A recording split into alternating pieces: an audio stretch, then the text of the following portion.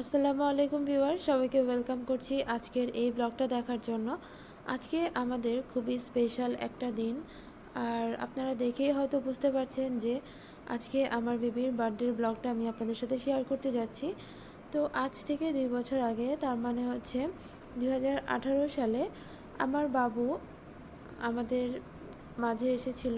তো সেই জন্য আজকের এই দিনটা আমরা হালকা একটু সেলিব্রেট করব। যদিও আসলে ওর পাপা খুব একটা সেলিব্রেট পছন্দ করে না। তো সেই জন্য আর কি আমরা জাস্ট বাসায় একটা কেক কাটবো। খুব একটা কাউকে ইনভাইটও করা হয়নি।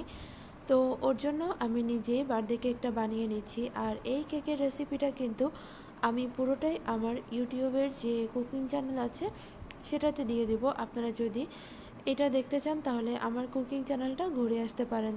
তো কেকটা কিন্তু হয়ে গিয়েছে।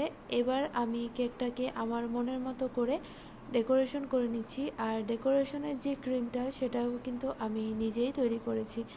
তো আমি চেষ্টা করেছি আমার বাবুর জন্মদিনে সব কিছু আমি নিজেই করব। কেক থেকে শুরু করে ড্রেস, এভরিথিং আমি নিজেই করেছি। তো আমার কাছে খুবই ভালো লেগেছে। আর ড্রেসের সাথে ম্যাচিং করে কিন্তু আমি কেকটা পার্পেল কালার করে বানিয়ে নিয়েছি। তো কেকের মধ্যে আমি যেহেতু আমার মন মতো ডিজাইন করে নিচ্ছি, আর আমিও খুব একটা বেশি এক্সপার্টও না, তাই আমার যদি ভুল হয়ে থাকে তাহলে আপনারা ক্ষমা সুন্দর দৃষ্টিতে দেখবেন। তো আমি আমার মন মতো করে কেকটা সাজিয়ে নিচ্ছি। কেকটা যখন সাজানো হয়ে যাবে, তারপর আমি এটাকে ফ্রিজে রেখে দিব, এতে করে কেকের যে ক্রিমটা সেটা কিন্তু খুব ভালো মতো সেট হয়ে যাবে। দেখতেই পাচ্ছেন আমি যতটুকু পেরেছি কেকটা, আমি এভাবে একটু ডেকোরেশন করে নিয়েছি। ডেকোরেশন করা অলমোস্ট কিন্তু হয়ে গিয়েছে। এবার আমি শুধু এতে একটু লিখে দিব হ্যাপি বার্থডে টু ইউ বা সামথিং এরকম কিছু একটা লিখে দেব। সবাইকে বলব প্লিজ সবাই আমার বাবুর জন্য অনেক অনেক দোয়া করবেন। ও যাতে ভালোভাবে মানুষের মতো মানুষ হতে পারে।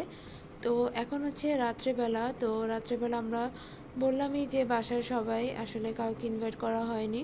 তো আমরা যারা বাসার সবাই সবাই মিলে আর কি কেকটা কাটছিলাম। তো ও হচ্ছে কেকটা আমরা যখন রেডি কেকটা কাটবো, তখন ও আমাদেরকে কেকটা কাটতে দিল না। তো পরবর্তীতে ও নিজেই একটু কেকটা কাটলো, নিজে নিজেই। তো নিজে যখন কেকটা কাটলো, তারপর তো আমার খুবই ভালো লেগেছে যে না, এবার সেকেন্ড বার্থডেতে ওর নিজের কেকটা নিজে একটু কাটলো। পরে আর কি একটু জোর করে ধরেছি যাতে করে কেকটা একটু কাটা হয়। কারণ আসলে সবাই কেকটা খাওয়ার জন্য অপেক্ষা করছিল। আর যেহেতু বাসায় বানানো কেক, সেজন্য সবার একটু ইন্টারেস্ট বেশি ছিল কেকটা খাওয়ার জন্য। তো আমরা সবাই একসাথে কেকটা কেটে নিচ্ছি, দেখতেই পাচ্ছেন। তো কেকটা কেটে জাস্ট উইশিং কেক সবাইকে একটু একটু করে খাইয়ে দিচ্ছি। আসলে ছোটোখাটো করে যদিও হালকা একটু আয়োজন করেছি বাট সব মিলিয়ে কিন্তু খুব ভালো হয়েছে। আর সবাইকে বলব প্লিজ সবাই আমার জন্য, আমার ফ্যামিলির জন্য অনেক অনেক দোয়া করবেন যাতে করে আমরা সবাই এখন যেভাবে আছি, সেভাবেই যাতে সারা জীবন একসাথে থাকতে পারি। তো কেকটা কেটে পরে অবশ্য আমরা খাওয়া দাওয়া করেছিলাম, তো সেই ভিডিওটা আসলে আর করা হয়নি ব্যস্ততার জন্য। তো আজকের মতো ব্লগটা আমি এখানেই শেষ করছি, জানি না আপনাদের কেমন লেগেছে।